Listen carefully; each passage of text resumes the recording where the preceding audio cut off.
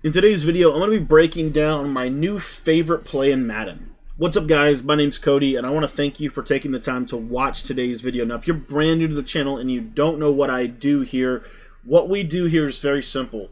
We do our best to help you get better at Madden, whether it be on the offensive side of the ball or the defensive side of the ball. The whole purpose of our channel is to try to help you get better, to give you the tools that you need to be effective. And so we do that in a variety of ways.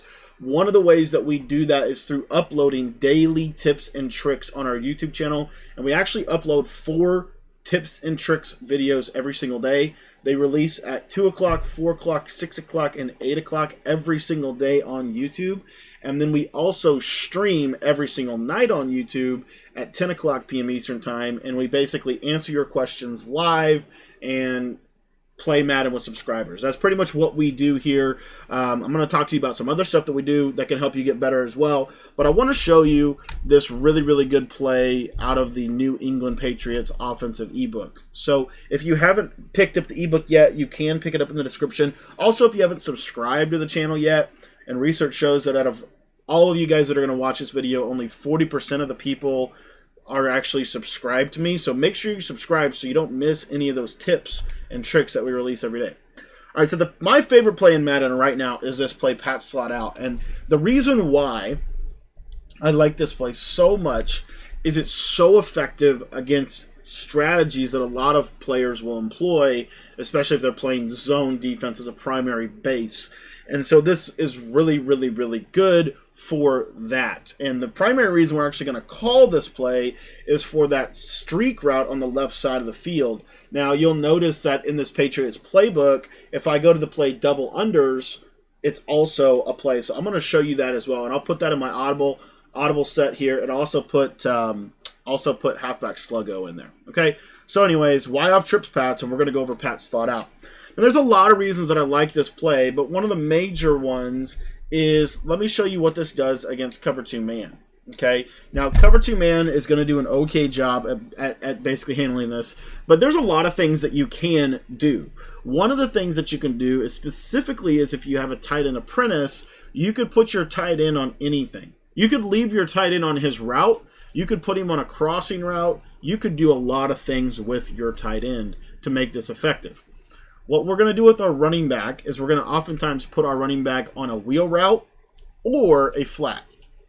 So he's going to wheel or, or a swing route, one of the two. And then what, what we're going to do is we're going to motion Godwin. And what you're going to notice here is when we motion Godwin, the corner on the left side is going to move, as you see right here. See him move? And if we snap the ball right here, you're going to notice that he's both receivers are going to get a free release. And I'm going to get nice inside leverage to be able to move the ball down the field against man-to-man coverage.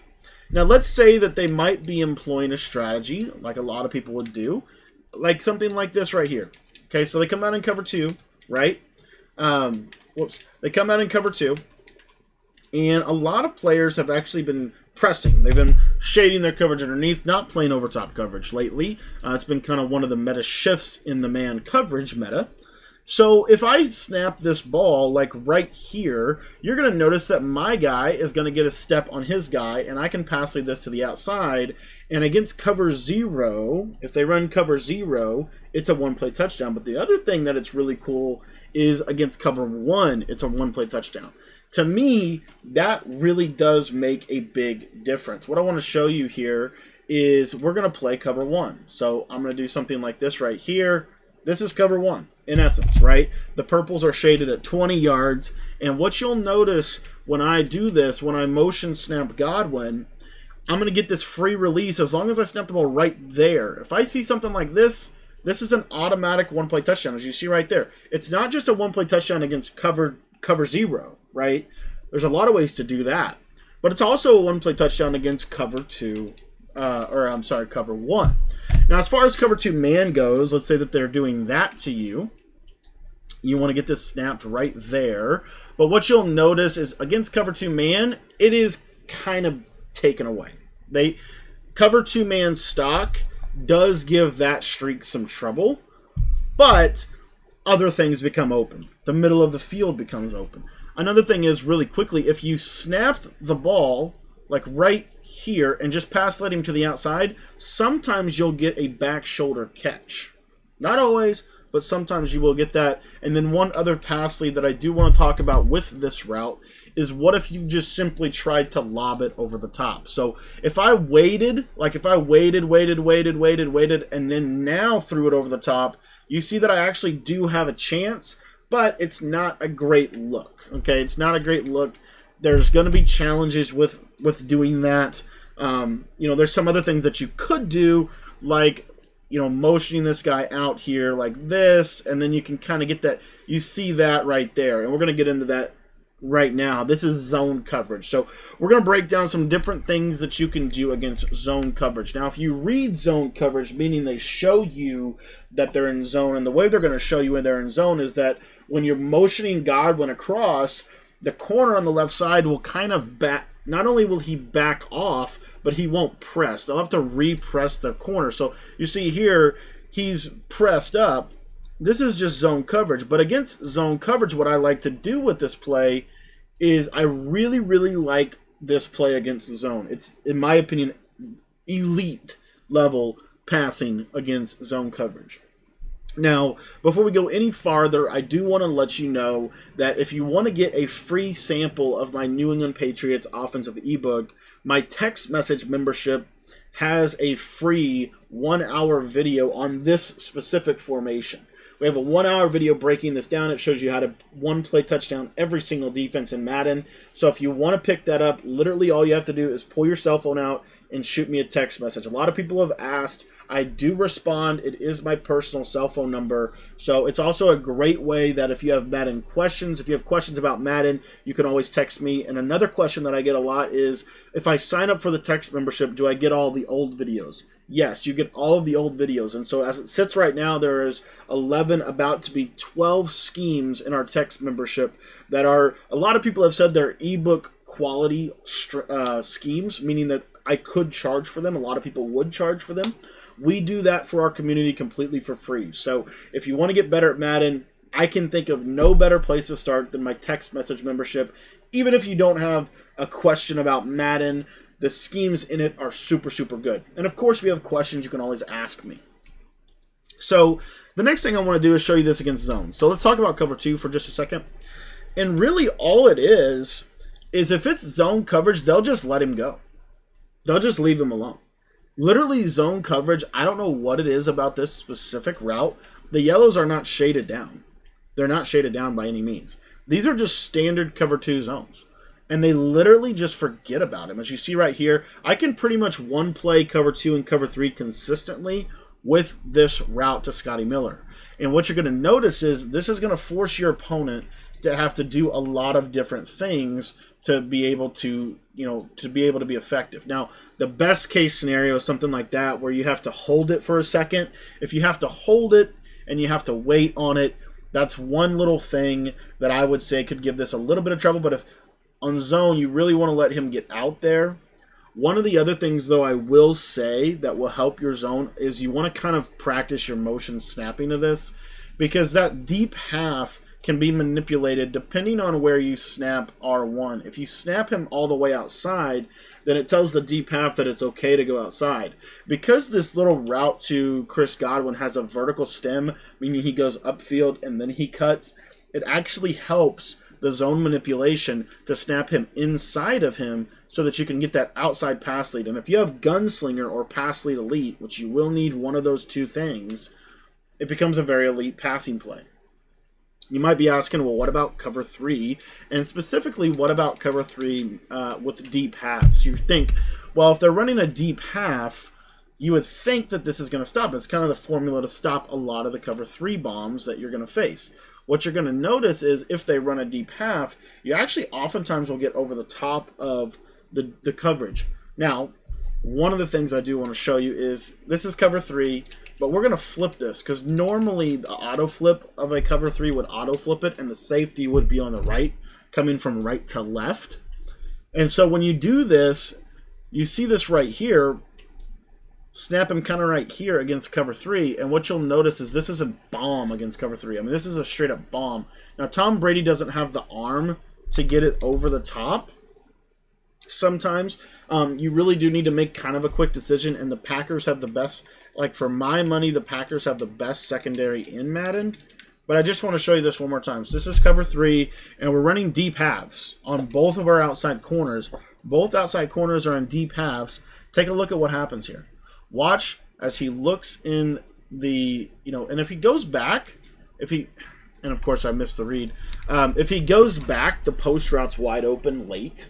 So you do have an option. But the one thing I want you to see, and it doesn't have it. A lot of it depends on where you snap your in route. To be honest, um, like a lot. So where you snap him is everything.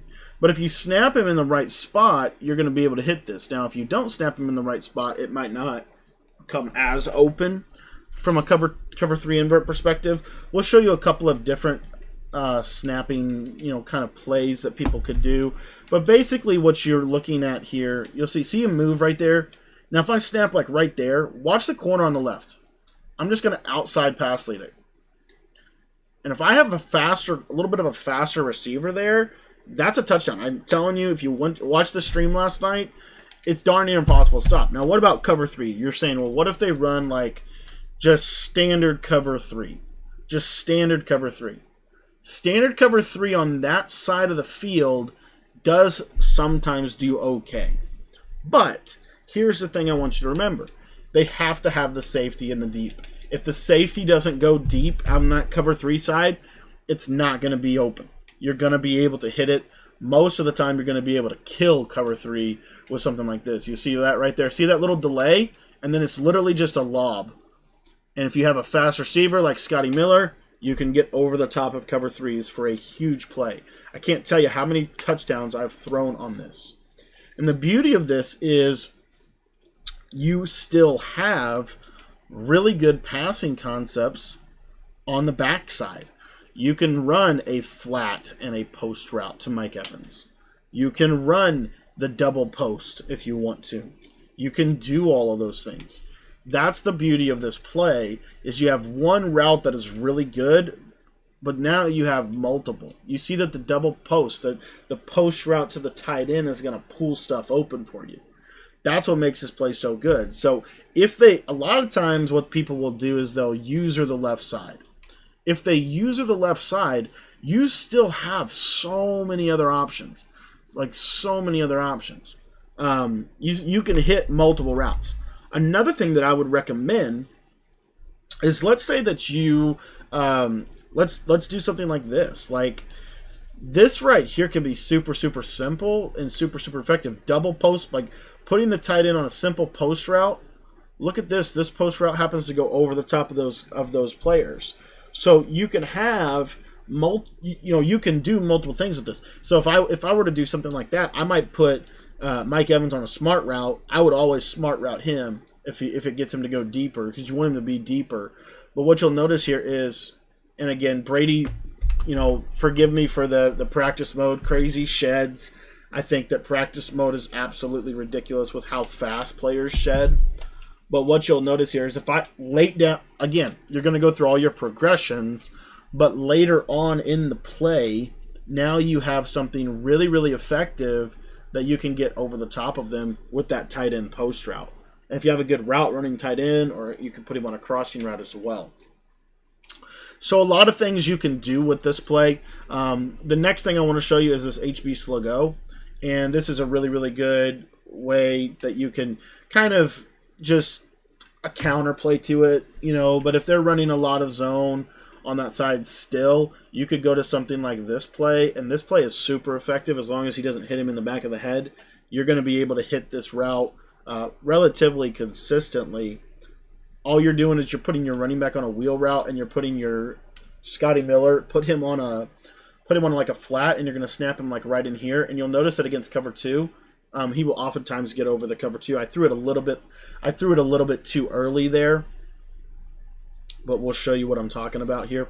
So again, you do something, this is super, super simple, but super, super effective.